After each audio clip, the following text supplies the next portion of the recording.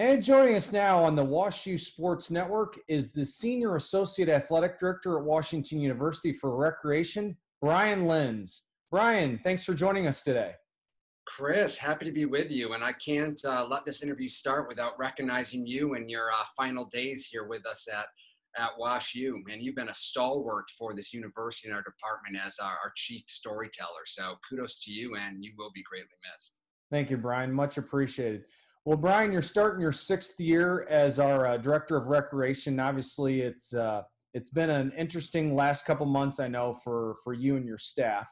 And for our fans, this is our hashtag Bears in Hibernation uh, weekly feature series that we do. We interview some of our head coaches, some of our staff members, some of our administrators, and kind of get an update on what's going on at WashU. So, my first question to you, Bryan, is What's kept Bryan Lenz busy during COVID 19? I know we have a new addition to the family, so I'm sure you have been busier than most of us.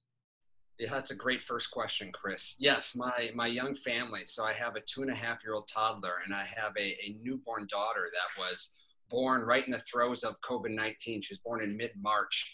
Um, so I was hunkered down in the hospital with my with my wife as it felt like the world was shutting down around us. There was the notification that March Madness um, was canceled, that uh, the stock market was crashing. We were hunkered down. It's like, gosh, what is what is happening around us? Um, but there is no greater stabilizer in life, I'm convinced, than than young kids. So while the world may may seem like it's turned upside down, um, it's still the fundamentals with young kids. It's hey, I want to be held, I need to be fed, I want to be played with. So that's been very refreshing and, and very grounding in in many ways. Um, outside of family it's really been studying the national landscape. Um, everything is so fluid in terms of, of reopening athletics and recreation centers. So trying trying to stay on top of, of best practices. Um, and now that we're only two weeks away, or less than two weeks away from from our soft opening of, of recreation, really gearing up for um, for that reopening.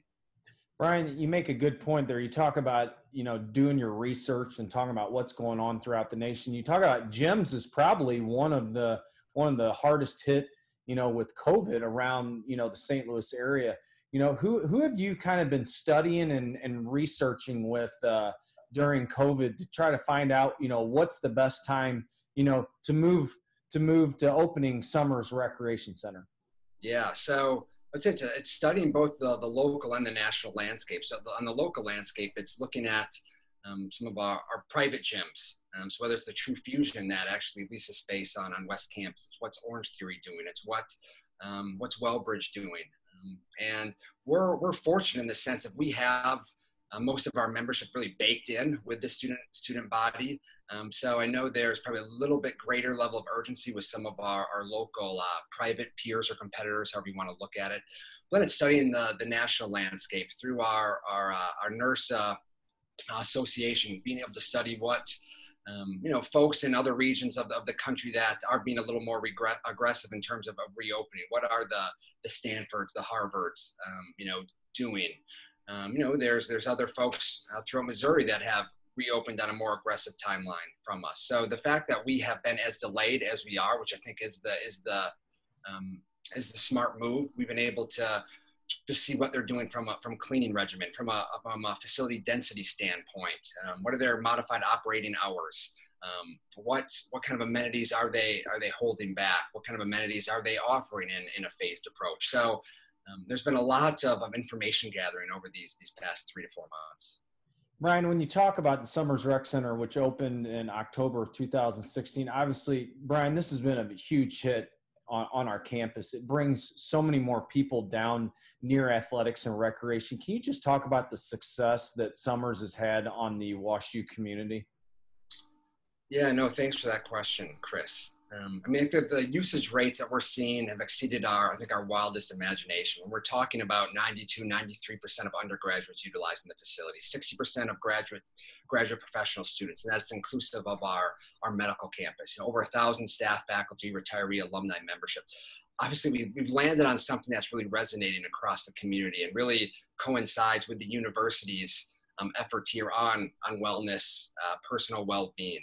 Um, and we continue to add uh, additional programs, whether it's swim lessons, outdoor trips, cooking classes. And prior to our closure, there are many areas of our operation that were bursting at the seams. You look at our free weight space, basketball courts, pool time, fitness classes. Uh, our students, our members were clamoring for for more. So, um, I mean, we're in a very uh, fortunate position to have great support from our, our institution. They obviously invested in a, a state of the art facility and have provided us the resources in order to really program it in a high quality fashion. So, um, our staff is really anxious to get back to, to serving the community. Bryan, with with obviously with so much success in the last four years in this building, I mean, I spend a ton of time in the Sumers Rec Center, especially in the winter, and the, the place is just wall to wall people. I mean, how tough, honestly, was it to close uh, back in March? Yeah, sure, it was disruptive, but it was pretty evident that we were staring down a global pandemic and a national public health emergency. So it was almost a foregone conclusion that we were going to, to have to close down um, and we saw all the dominoes falling, you know, across the country. Um, however, we knew we'd be back. Um, so when we do reopen in the near term, um, you know, it's going to going to be different. So I want to set those expectations for for folks that are, are tuning in. Um, we're going to prioritize safety. We're going to prioritize execution, and we'll be back. And it's going to look differently, but um, we know the work we do is is um, valuable, um, as as I alluded to in, in some of those participation numbers. So we're excited to, to get back at it. So Bryan, if I'm a if I'm a student at WashU, maybe a grad student, med student, I walk into Sumers for the first time. Tell me something that I might see without giving a bunch away that might just I might say, boy, that looks different. Well, we've completely spaced out all of our equipment. All of our cardio equipment is now separated 10 to 12 feet. So we've recommissioned our indoor track. Now that's our new cardio ring, so to speak. So all of our treadmills, most of our ellipticals, um, are spaced out around our indoor track. The footprint of our previous cardio box is now our selectorized equipment. That's spaced out 12 to 20 feet. Um, you'll see a lot of plexiglass barriers.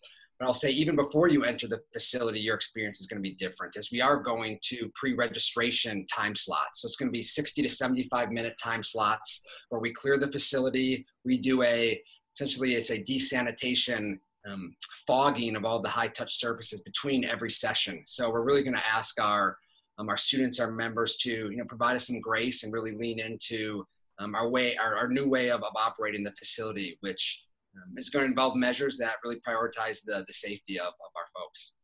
Ryan, you shared a little bit um, about your you and your family. Um, and that's what I want to talk about here a little bit Is we like to during our Bears and Hibernation series get to know our our coaches, our staff, our administrators a little bit more. So you obviously you said you and your wife been blessed with ch- two children. You grew up in Wisconsin, went to Eau Claire.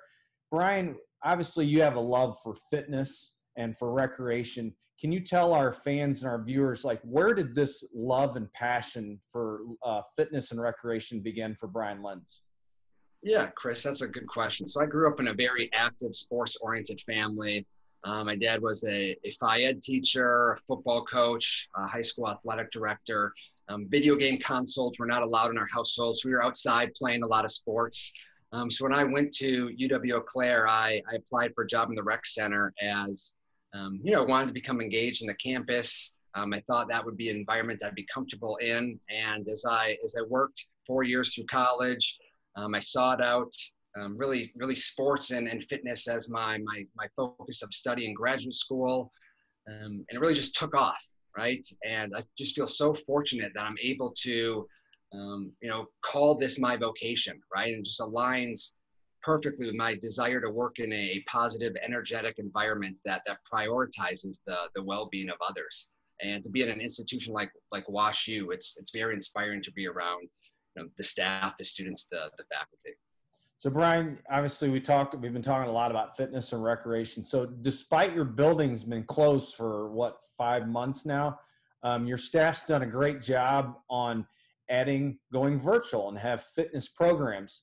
Talk to talk to our viewers a little bit about uh, kind of what your staff's been up to and to try to keep us involved in uh, WashU Rec. Yeah, so I'm giving a lot of credit to, to our staff. Megan Feely with fitness, Carly Vanderhayden, on the marketing side. Jamaica Cannon with Intramural Sports has done, done some virtual programming. Um, we, were, we were able to pivot fairly quickly um, upon our, our facility closed, and we knew we, we knew we needed to identify ways to um, continue to, to engage our students, our members. Um, so Megan's been exceptionally dynamic in terms of developing whether it's live fitness classes, a menu of, of on-demand fitness classes, Jamaica with different uh, virtual sports program programming. Um, and, and really for the foreseeable future, virtual programming is going to be a mainstay of our operation, right? As we transition to our soft opening on August 24th and as we add um, kind of more amenities to the fold, I can't see us um, you know, going away from virtual programming in the next, you know, six to 12 months. So we've learned a lot over the over the summer, and we've actually identified a space within the rec center that we're going to convert into a virtual studio, um, so we can even up the the production value a little bit. Um, but yeah, I can't say enough positive things about Megan Carley and, and Jamaica and what they've done um, in a remote environment. So Bryan, last question for you. So we've talked obviously about the reopening in late late August. Uh, you you mentioned August 24th. And, you've mentioned a few things here and there about the spacing out of, of some of the equipment and all that. What what else can you share with the fans at this point that you know the Sumers recreation? What will it look like in a, a few weeks? Yeah, yeah. So um, again, we're emphasizing safety. We're going to be following state, local guidelines, university policies, National Association recommendations. Um, look, masks are going to be required in our facility. I'm just going to say that off the bat, with the exception of, of the pool. Once once the pool reopens, and we hoping that we hope that's in our, our phase two return to operations, which is slated for September 14th, uh, that we get the pool back online.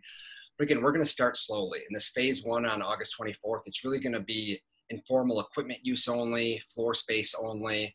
Um, you know, no in-person fitness classes, no personal training, no massage, no massage chairs. Um, no cooking classes, no outdoor trips. I mean, it's going to be a very scaled down experience, and and that's very intentional. We're going to be very conservative in how we approach this. We want to um, learn new traffic patterns. We want to learn about the new protocols and policies we're putting it putting into place. Um, you know, our facility density is going to be greatly reduced. Right, right now the the county guidelines 25%. So we're we're talking probably a hundred, maybe fewer than a hundred in our facility at, at, any one time.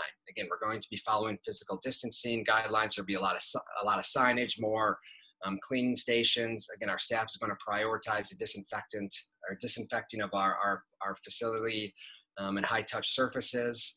Um, but it's going to be a slow process, and that's why I say virtual programming is going to continue to be a um, you know a mainstay of of our of our programming and our, our service delivery model. Well, Bryan, I would just want to say thanks for coming on here and talking a little bit um, about the Sumers Recreation Center and also sharing uh, sharing some information about yourself. I do know this: the Sumers Recreation Center is an awesome facility, and I know you know obviously many of our freshmen that are coming on campus, I'm sure, are very excited to use this, and I'm sure you guys will be back full steam. And let's be honest, you'll probably better will be better than you were uh, last March. Okay. Yeah, I appreciate that, Chris. And even though you're going to be leaving us, I want to find a time for you know for us to, to run together soon. There we go, Bryan. Thank you very much, very much for joining us. Thanks, Chris.